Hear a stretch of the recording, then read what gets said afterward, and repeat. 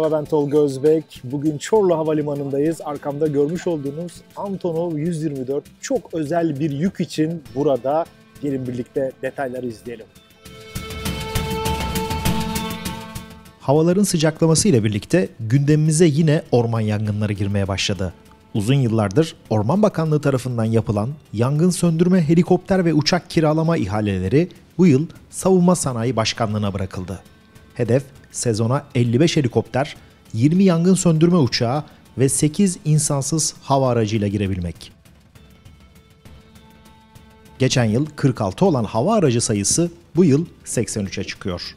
2022'de gece görüş sistemli helikopterler de kullanılacak. Ayrıca tek motorlu uçaklar yeniden kullanıma alınacak. Geçen yıl bir uçuşa katıldığımız Chinook helikopterinden bu yıl 10 adet kiralandı. İlk 5'i Antonov AN-124 uçağı ile Dubai'den Çorlu'ya getirildi. İşte o uçağı karşılamak için Çorlu Havalimanı apronundayız. Bu yıl CMC Savunma toplam 10 adet Chinook helikopteri getiriyor. Çorlu Havalimanı'na, zamanında Atatürk Havalimanı'na kargo destek için sivil tarafında yatırım gerçekleştirilmişti. Gürültülü Rus orijinli uçaklar inecekti. Ancak beklentiyi karşılamadı. Bugün uçuş okullarına ve Baykar'ın Akıncı İHA sistem testlerine ev sahipliği yapıyor. Ukrayna merkezli Antonov Hava Yolları'na ait AN-124 Viyor yaklaşması ile meydan üzerinden dönüyor. Hava açık. Teker koyup gövdesinin içindeki helikopterleri bırakmak üzere park pozisyonuna geçiyor. 4 adet jet motorlu uçak askeri amaçlı tasarlansa da bugün sivil kargo operasyonlarında kullanılıyor. Arkamda görmüş olduğunuz uçak Ukraynalı Antonov Hava Yolları'na ait. Antonov malum bu arkamda gördüğümüz AN-124'ün imalatçısı. Ayrıca dünyanın en büyük kargo uçağıydı diyoruz. Ne yazık ki Ukrayna Savaşı'nda ağır hasar gördü. Antonov 225'in imalatçısı. Şirket elindeki bazı uçakları gördüğünüz gibi kargo operasyonu için kullanıyor. Zaman zaman bu uçak buraya geldi. Ukrayna için olduğu iddia edilen insansız hava araçlarını taşıdı ama bugünkü yükü görüyorsunuz indirilmeye başlandı. Bu yıl orman yangınlarında kullanılacak olan Chinook helikopterleri. iki farklı modeli var. Bunlardan bir kısmı model 234. Hatırlayacaksınız geçen sene ben bir uçuşa katılmıştım. Diğeri ise 107 serisi biraz daha ufak. Gelin uçaktan nasıl indiriliyor beraber görelim. Ukraynalı uçuş ekibinin aklı haklı olarak memleketlerinde. Bir yandan da bu tür uçuşlar ile şirketlerini ayakta tutmaya çalışıyorlar. Hızlı boşaltım için rampa iniyor, ön iniş takımları katlanıyor. Sonra da dev kapak açılıyor.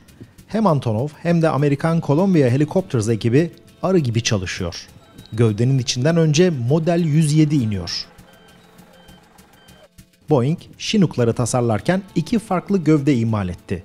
Birincisi standart modeldi. Bunun sivil versiyonuna Model 234 denildi. Su atma kapasiteleri 7300 litre ila 10.000 litre arasında. Az atan model ek yakıt tankı taşıyor. 4,5 saat uçabiliyor. Ağır model ise 2,5 saat havada kalıyor ama 10 ton su atıyor. 10 ton suyun anlamı 4 yangın söndürme helikopterinin tek bir gövdede birleştirilmesi. Model 107'lerin bir başka özelliği de gece görüş sistemine sahip olmaları. Helikopter gece yangın söndürme uçuşu yapabilecek. Bunun için hem pilotun eğitimli olması hem de özel ekipman gerekiyor. Helikopterler Antonov 124'ün içinde özel noktalara sabitlenmiş.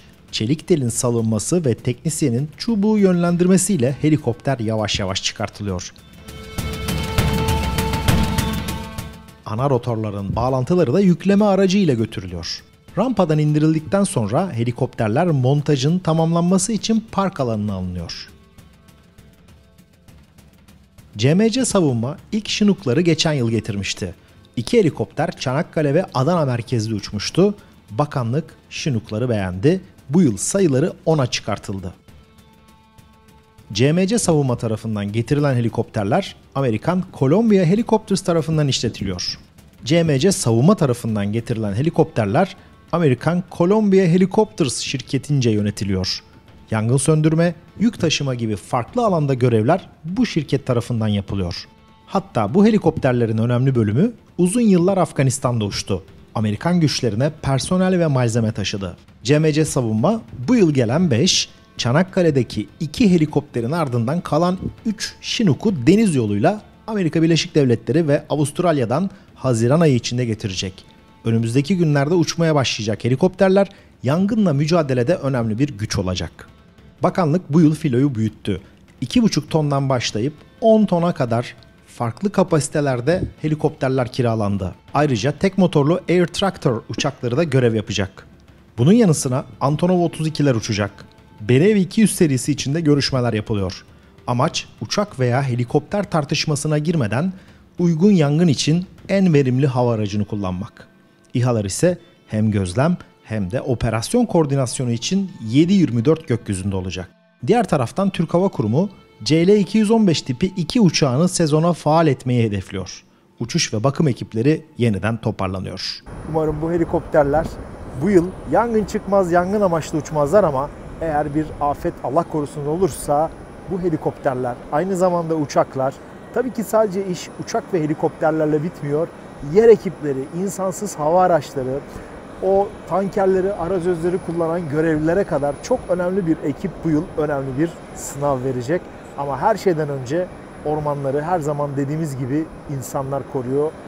Yangın çıktığı zaman bu arkamda görmüş olduğunuz işte hava araçları sadece yangının kontrol altına alınmasını sağlıyor. Önemli olan bu yangınların hiç çıkartılmaması bu konuda da bizlere çok önemli görevler düşüyor.